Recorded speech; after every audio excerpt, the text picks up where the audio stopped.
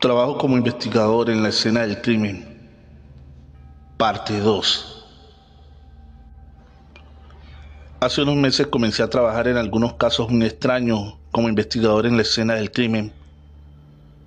Los cuerpos estaban siendo encontrados dentro de objetos sólidos, dentro de un árbol, dentro de un edificio y dentro de un automóvil. Simplemente no era posible que estuvieran en esos lugares en tan poco tiempo y los resultados del laboratorio sugirieron que, de alguna manera, los cuerpos se fusionaron con el material en el que se encontraban dentro. La parte más extraña del caso fue que la gente dejó de hablar de ello. Ningún periódico los informó y nadie los filtró en línea. Luego me visitaron dos bichos raros que buscaban ser agentes de algún tipo, afirmando que si publicaba sobre los casos en línea, aparecerían más cuerpos y podrían resolver lo que estaba sucediendo. Al final acepté y se terminó convirtiendo en la próxima víctima. Una noche me acosté temprano por una vez. Cuando desperté sentí un dolor que lo abarcaba todo y me preguntaba qué demonios estaba pasando.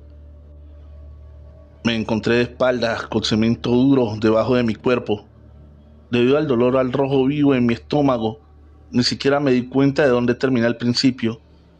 Solo vi el pilar de piedra que sobresalía de mis entrañas. Lo miré con incredulidad antes de dejar escapar algunos gritos roncos. Me dolía tanto que apenas podía hacer ruido. Puse mis manos contra la piedra sintiendo su frialdad. Recé para que esto no sucediera y me di cuenta en medio de una terrible pesadilla. Esta situación es idéntica a los casos que me habían llamado. Personas con objetos recortados dentro de sus cuerpos por falta de una mejor manera de describirlo. Cuando acepté mantener los casos publicados sobre ellos en línea, nunca pensé que no solo sería el próximo, sino que las personas que encontramos todavía estaban vivas cuando se fusionaron en algo. El horror de este pensamiento se apoderó de mí. ¿Cuánto tiempo vivió Beth para estar todo retorcido entre ese auto? por todos los medios, debería haber muerto de inmediato.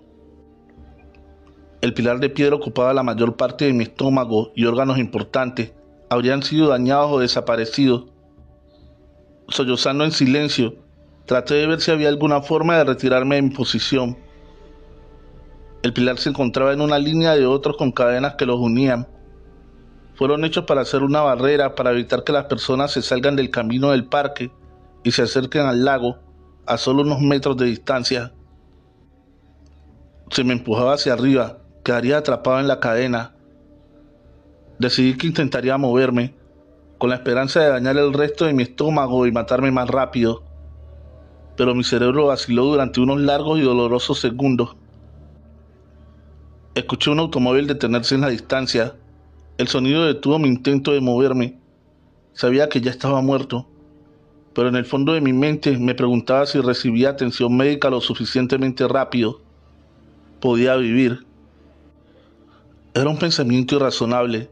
Me faltaba la mayor parte de mi torso del pilar. La gente podía vivir sin ciertas cosas, pero no con casi todo el estómago. No había un médico en el mundo que pudiera salvarme. Aún así, moví mi cabeza hacia el sonido de alguien caminando tratando de luchar contra el dolor y el pánico. Primero vi sus zapatos, zapatos de vestir profesionales, limpios y relucientes. No del todo brillante. Uno tenía un pequeño rasguño donde cerré la puerta hace un rato. Mirando hacia arriba, vi la cara sorprendida de un hombre llamado Jack. Llevaba un traje y equipo envuelto en su espalda. No esperaba verlo, señor García. Sonaba honestamente sorprendido. Sin volver a dirigirse a mí, ni intentar ayudar de alguna manera. Comenzó a colocar focos altos, colocando una lona blanca en unos minutos. Mi rincón oscuro del mundo se convirtió en un blanco resplandeciente. También instaló una cámara en un trípode, pero aún no la encendió. Las luces parecían pesadas, aunque no tuvo problemas para configurarla. Gemí de dolor, listo para morir mientras él trabajaba. Realmente no debería estar dándote esto tan temprano, pero... Tomando un maletín de algún lugar, lo colocó a mi lado.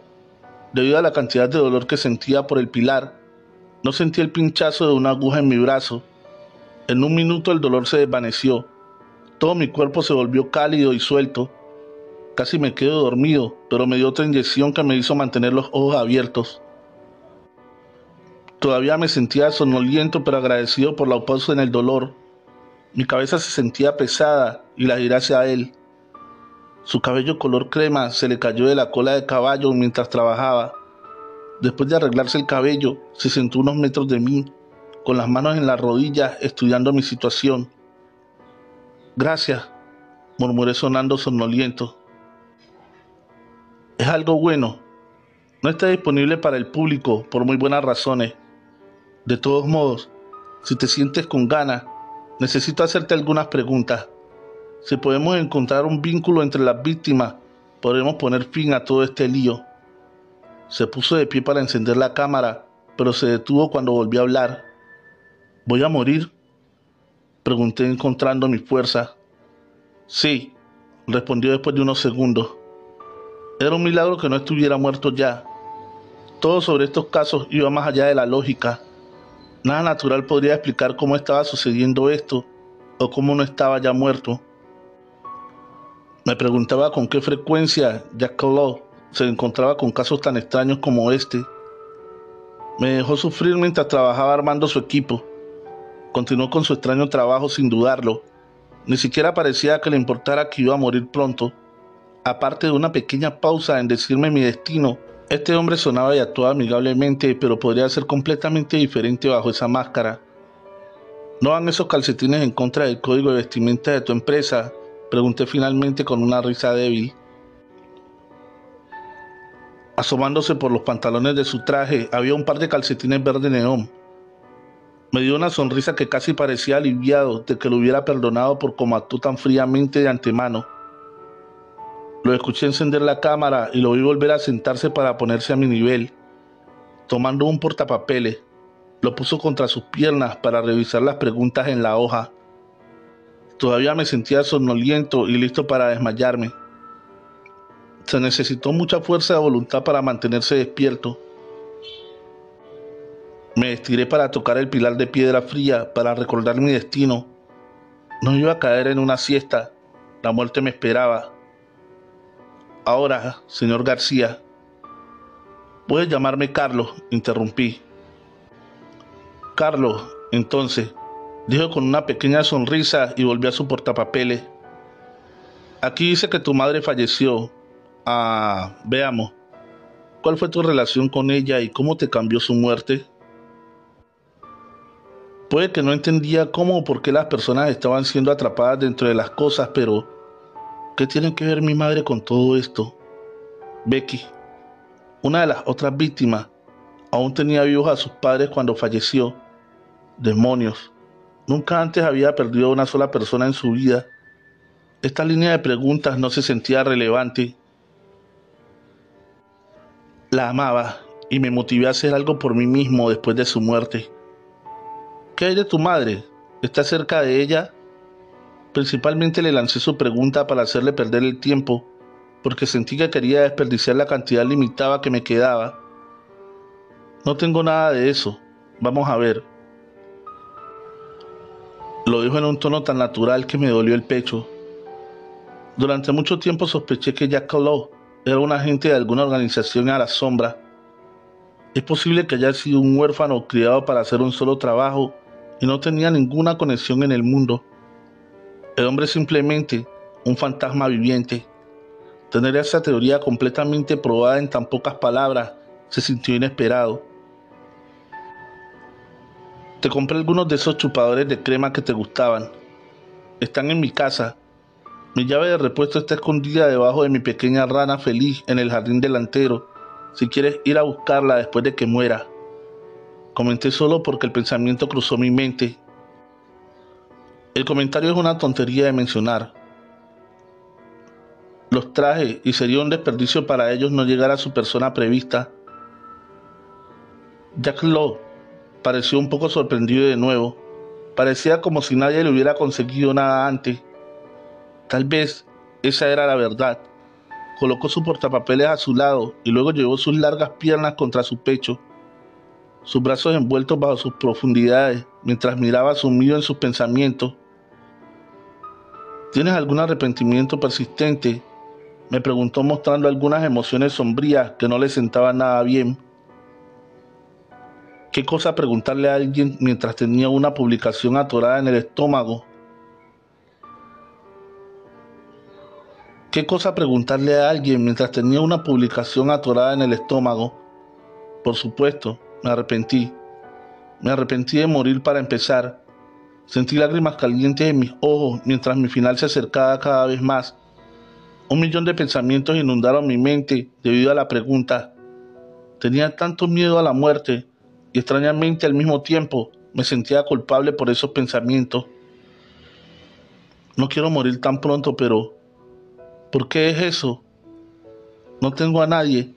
Mi padre recibió un disparo en el cumplimiento de su deber y mi madre murió de cáncer. Salí de vez en cuando, pero nunca encontré una persona con la que quisiera pasar el resto de mi vida. Ni siquiera tengo una mascota, ni siquiera un pez.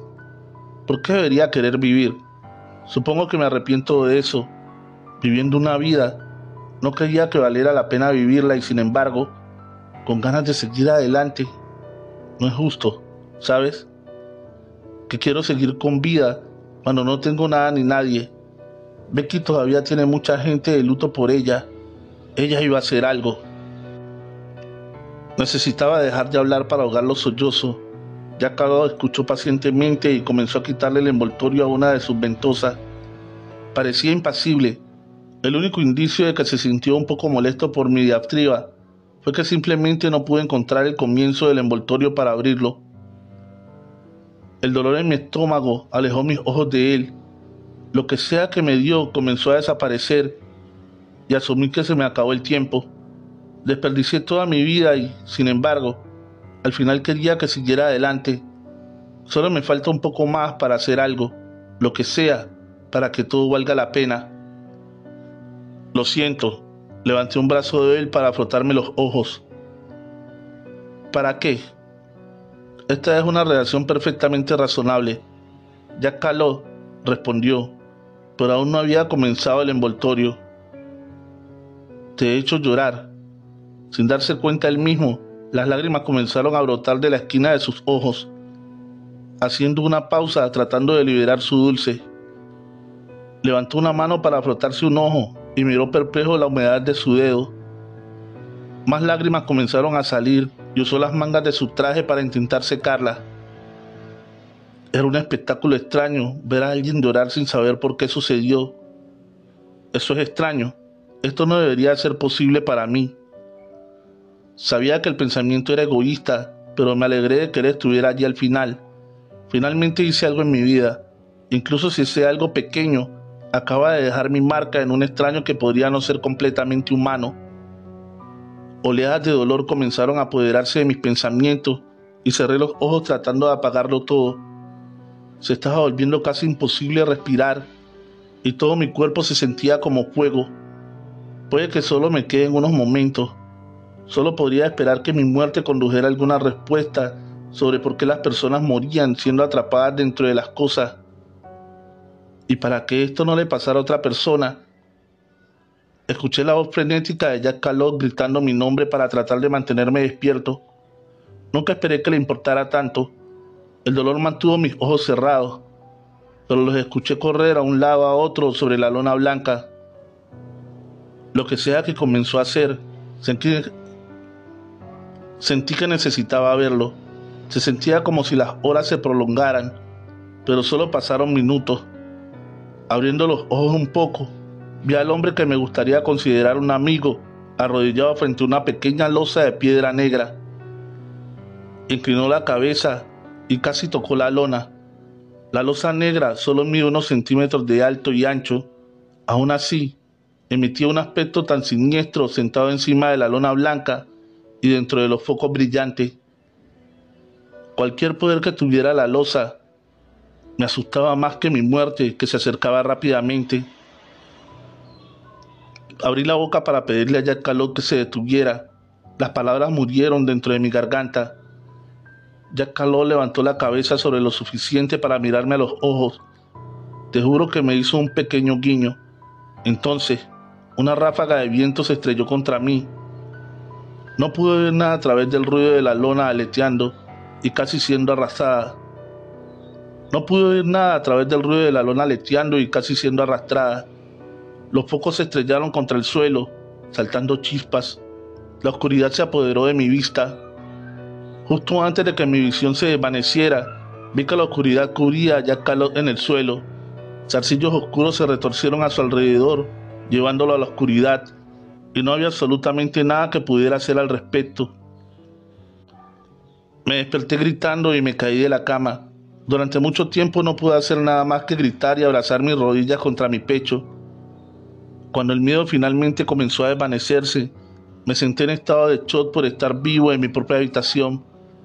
Frenéticamente levanté mi camisa, viendo una gran cicatriz donde había estado el pilar, una cicatriz que no tenía antes de esa noche. Mis piernas estaban inestables, así que me senté en el piso confundido y aterrorizado por lo que sucedió esa noche. Si no fuera por la cicatriz, Habría asumido que todo era una pesadilla por estar estresado, por trabajar en casos tan extraños.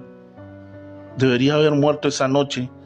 Jack Caló hizo algo para salvarme y no tenía forma de averiguar su destino. Las próximas semanas no hicimos ningún progreso en los extraños casos de recorte. Empezaron a acercarse lentamente a la pila de casos sin resolver.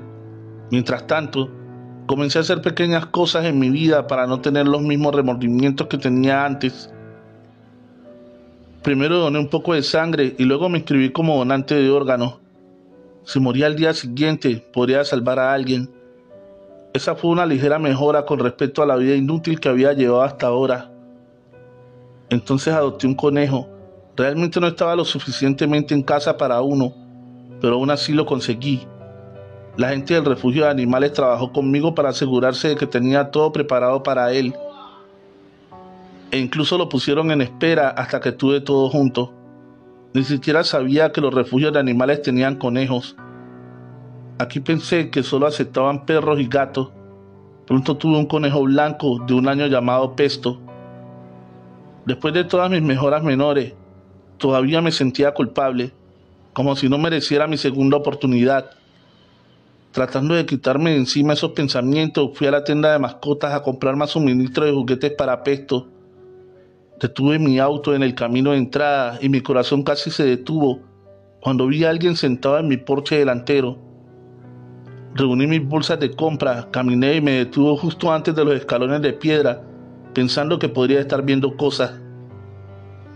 Jack Caló se sentó con un gran abrigo de lana y una pequeña bolsa de viaje a su lado. El lado izquierdo de sus labios estaba desgarrado y con tantas cicatrices que sus dientes se veían. Su ojo izquierdo era un azul apagado y usaba anteojos. Más culpa me atravesó el estómago, pero él solo me dio una sonrisa. Me despidieron, me dijo con esa cálida sonrisa suya todavía en su rostro. Me emocioné tanto que no pude responder. Subí los pocos escalones hasta la puerta principal. ¿Puedes tomar esto para que pueda abrir la puerta? Le pregunté tendiéndole las bolsas de la compra. Sabía dónde guardaba mi llave de repuesto. No sabía por qué esperó afuera hasta que regresé. Extendió la mano para tomar las bolsas, pero algo se sintió mal. Concentrándome en sus movimientos, casi dejo caer mi llave cuando me di cuenta de lo que no estaba bien. La manga izquierda del abrigo ondeaba vacía. No solo se quedó medio ciego por mí, sino que también perdí un brazo. Una culpa terrible me retorció dentro de mi estómago.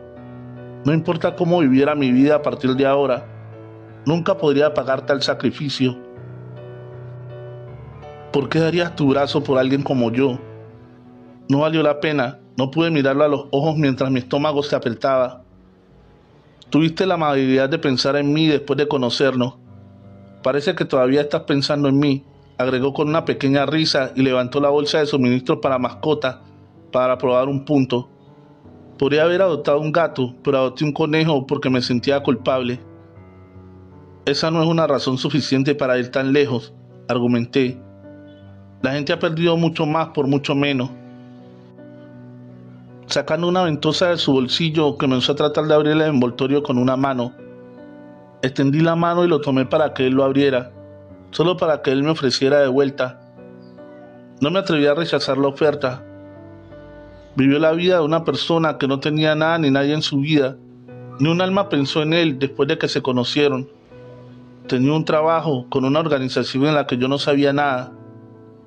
Dado un nombre que reflejaba su inexistencia en el mundo, me di cuenta de repente de que mi vida no tenía ningún valor hasta ese momento. Si un pequeño gesto como comprar dulces para un extraño afectó tanto a otro, es posible que haya realizado otros actos extraordinarios sin darme cuenta.